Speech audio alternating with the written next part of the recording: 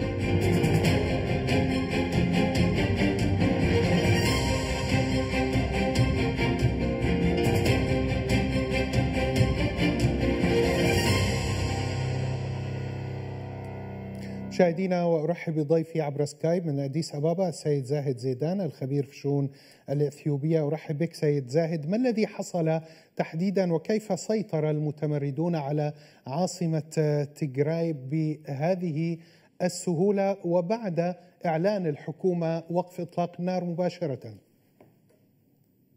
أهلا وسهلا بك أخي العزيز ونحن يعني نرحب بكم. يعني على قناتكم المباركة ونشكركم على الاستضافة.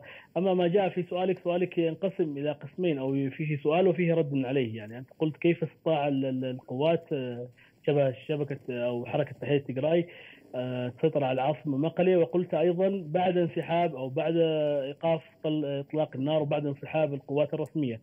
كما نعلم كما يعلم الجميع وتعلم الأمم أن أعلن الجيش الفدرالي الرسمي للدولة انسحابه ووقف إطلاق النار وانسحابه الجزئي من مق... من مدينة مقله عاصمة إقليم تجراي ومن بعد ذلك شهد بعض المتسلحين الذين ينتسبون لجبهة تحرير تجراي داخل هذه العاصمة. ولكن لماذا انسحب الجيش في هذا التوقيت؟ نتمنى أن يكون هذا سؤال يعني. نعم. والإجابة عليه سوف تكون أن انسحاب الجيش من هذا من إقليم تجراي في هذا الوقت بالتحديد كما يعلم الجميع أن هذا الوقت هو موسم الخريف في إثيوبيا وهو الموسم الذي تهطل فيه الأمطار وهو موسم الزراعة لأن الزراعة في إثيوبيا زراعة شبه بدائية فيعلم العالم أجمع ما أتى في العام الماضي من جائحة كورونا وزاد الطين بلة ما أتى في في القرن الأفريقي وفي دولة اليمن الشقيق اللي هي حملات الجراد أو يعني كما كما علمنا في العام الماضي يعني سرب الجراد الذي قضى على شبه 90% من من المحصول الزراعي ليس في إقليم مقله في وحده ولكن في إقليم مقله وفي إقليم في الأقاليم الشمالية لإثيوبيا وفي إقليم شرق القرن الأفريقي أجمع.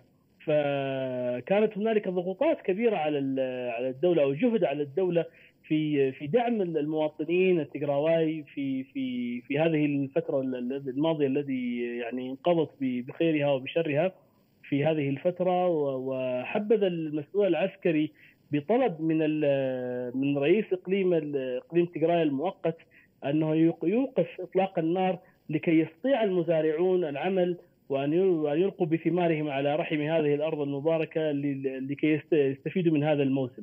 نعم ولكن ولكن سيد سيد زاهد يعني نحن أمام تطور خطير يعني بعد الحرب وسيطره الحكومة على منطقة تجراي بهذه البساطة تتراجع الحكومة ويعود المتمردون للسيطرة على الإقليم. إلى أي مدى هذا التطور يمكن أن يهدد شرعية أبي أحمد ومستقبله السياسي اولا عندما بدأت عملية إنفاذ القانون في إقليم تجراي الحكومة كانت هنالك عملية دقيقة جدا كمثال عملية قلب يعني تستغرق وقت طويل وتستغرق وتستوجب دقة عالية في هذه العملية لأن الشعب التجراواي أو إقليم التجراواي هو عضد هذه البلد وهو وهم جزء من من النسيج أو من المكون الأثيوبي. نريد أن يعلم هذه أو أو تنقل هذه الفكرة الصحيحة باسم كمواطن إثيوبي وكمحلل وكمطلع في الشأن الداخلي الإثيوبي ننقلها لجميع العالم لأنه نرى بعض الإعلام العربي يشوه فكرة الجيش الفدرالي الإثيوبي أنه هو الجيش المتمرد وأحيانا يدعونه بالميليشيات أنه يعني طغى على الجيش الفد... على على الشعب التجراواي كيف هنالك يعني من الجيش يعني عدد لا يستهان به من الجيش الفدرالي هم من نفس الإقليم هم من إقليم تجراواي مواطنون يعني أصولهم نعم. القبلية من قبيلة تجراواي ف ولكن عند عند انسحاب قوات الجيش الفدرالي كما ذكرت لك للمصلحة العامة التي يستحقها الشعب التجراواي في هذه المرحلة. أما على خطورة الوضع السياسي في لأبي أحمد نحن نتوقع أن نتائج الانتخابات سوف تطلع يعني سوف تظهر في مساء هذا اليوم أو غدا. هذه هي الانتخابات هي الخطر الرئيس على أبي أحمد. هل يستمر وينجح فيها؟ أو هل يفشل أو لا يوفق في هذه الانتخابات؟ وهو ذكر أيضا في يعني في اجتماعه الأخير لمؤيديه في عندما ذهب لاقليم اوروميا في مدينة جمة بالتحديد قال لهم يعني إذا نحن انتصرنا فنريد ان أن نقول يعني hard luck كما يقول إخوتنا الرياضيون يعني للأحزاب الاحزاب المنهزمة. وإذا نحن انهزمنا نريد أن نسمع يعني عبارة hard للحزب الازدهار وإن نسلم السلطة بطريقة سلمية لمن يأتي بعدنا. نعم. فهذا طيب. هو الخوف الحقيقي لحكومة أبي أحمد. أخيرا وباختصار لو سمحت سيد زيدان زيدان. إلى أي مدى هذا التطور ربما سيؤدي إلى إضعاف الموقف الأثيوبي في ملف سد النهضة؟ بأقل من دقيقة لو سمحت. أوكي. سد النهضة مرحلة لا نزاع فيها. إن كانت الجبهه الحاكمه هي جبهة تحرير تجراي. إن كان الأحزاب ايزيما إن كانت أي أي حزب في هذا البلد أو حتى إن كان الازدهار. سد النهضة أخي المبارك. بالنسبة للأثيوبيين هو موضوع ومشروع قومي. مشروع ينهض بأثيوبيا من خط تحت خط الفقر إلى الحياة الكريمة. مشروع يعني آه، بالنسبة للأثيوبيين حياة أو موت. ايا كان الحزب الذي سوف يركب على السلطة أو ايا كانت الأحزاب معارضة مسلحة غير مسلحة الازدهار فسد النهضه نتمنى أن ينقل للشارع العربي أنه هو مشروع حياة أو موت بالنسبة للأثيوبيين، فلا يوجد أي جدال عليه من أي مكون يحكم البلد. أشكرك جزيلا سيد زاهد زيدان الخبير في الشؤون الأثيوبية، كنت معي عبر سكايب من أديس أبابا.